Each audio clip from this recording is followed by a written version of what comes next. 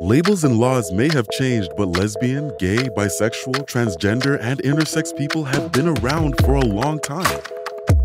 And it is time you knew the importance of advocating for LGBTI rights and the discrimination LGBTI people face on a daily basis.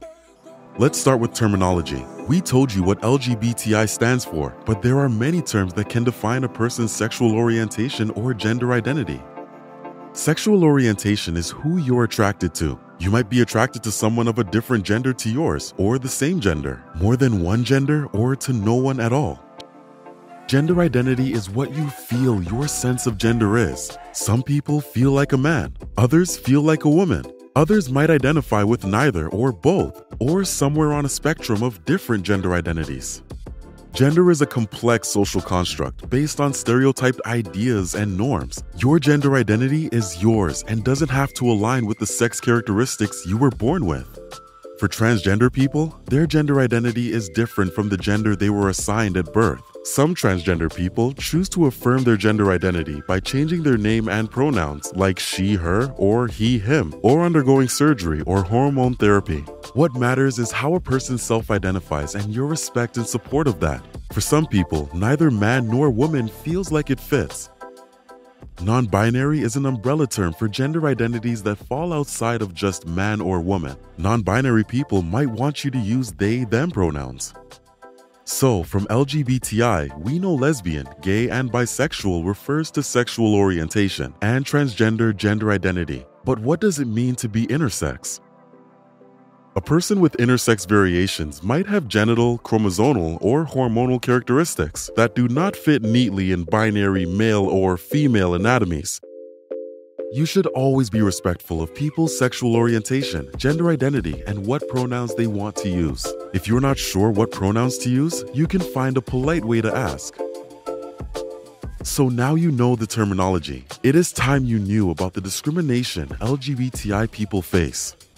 There are 64 countries around the world which have laws that criminalize homosexuality. In some countries, you can even be sentenced to death for consensual same sex sexual acts. Many of these laws around the world were brought in by colonizers, like Section 377 from the British Penal Code, which criminalized sexual activities across the former British Empire. Section 377 is still actively harming LGBTI people across the world today, but discrimination goes beyond laws. Amnesty International research has found Polish authorities not only inadequately protect LGBTI activists, but in some cases, they even contribute to the marginalization of people based on their sexual orientation or gender identity. And in 15 countries in Asia, we found transgender people who already face structural marginalization and discrimination further suffer disproportionately during the COVID 19 pandemic. LGBTI people encounter discrimination in many areas of their life, from family to the workplace.